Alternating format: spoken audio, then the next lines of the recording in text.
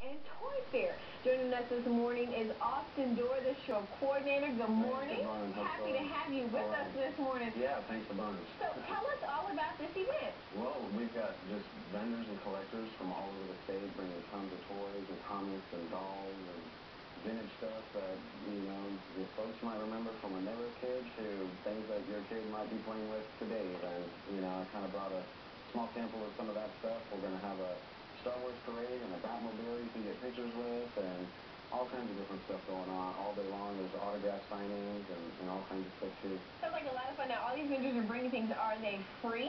Well, everyone buys, sells, and trades. You know, some okay. some people have collected this stuff their whole life. Some people just maybe do it as a hobby and stuff. We've got a couple of guys that were out at the big California San Diego Comic Con recently, and they brought some of the things you can only get from out there to show that you can find and stuff. Pretty neat. Fun things to look at. Talk to us, you know, obviously a lot of collectibles for people to look at. Tell us about some of the stuff that you brought with it with you today. Oh, I mean, I'm, I'm brought even, you know, an old... Um, Got all kinds of stuff down here. Yeah, we got the Felix the uh, cat. It's an old stencil set even. It's got, you know, great coloring and artwork on the box that it couldn't even reproduce today. We got you know, the old uh, Annie doll and stuff like that. Mm-hmm. Um, there's the Monster High is real popular with you know young and older people. It's a lot of the, the kids of the famous monsters that we remember. This is uh, Medusa's right. son and stuff like that. We've got uh, Walking Dead stuff. There's Walking Dead figures and comic books. There's and, something even more awesome in your lap right oh, yeah. This is going to be uh, part of the parade today. We're going to have uh, members of the 501st Legion there doing stuff. Uh,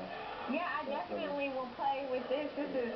This is memories of my childhood right yeah, here. Watched a lot of Star Wars. Not that I'm that old, but, you know, Star Wars. Well, kids today, they're still doing stuff now that Disney's, you know, kind of taken over and uh, stuff like that. Um, you know, every, everyone still loves Star Wars. You know. The Force is with us all. Yeah, and yeah. it's just, it's cool to be into this stuff. You know, a lot of people used to hide their stuff in the closets or put it away, and, and now it's it's everywhere. We got some pictures from the, the previous, because you guys do this every two years. And, and of course, yeah, just, year. oh, twice a year. Twice so a year, yeah. just really want people to kind of get dressed up, bring the kids out, have a good yeah, time. Yeah, we're going to have costume contests. There's all kinds of photo opportunities, and like I said, the meet and greets and different stuff. So some people take this real serious. Come on, have a good time. Get some awesome gear like lifesavers. All right. Yeah. Well, Austin, we certainly thank you for joining us this morning. Again, the Austin Comic and Toy Fair starts at 9 this morning and goes until 5 tonight at the Norris Conference Center. That's located at 2525 West Anderson Lane, Suite 365.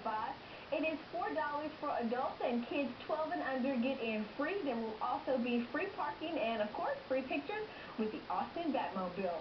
Well, coming up next, from bogus supplements to prescription drugs, the FDA cracked down on illegal treatments targeting diabetics.